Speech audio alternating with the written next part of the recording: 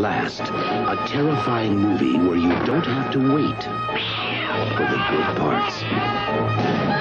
Because it's nothing but good parts.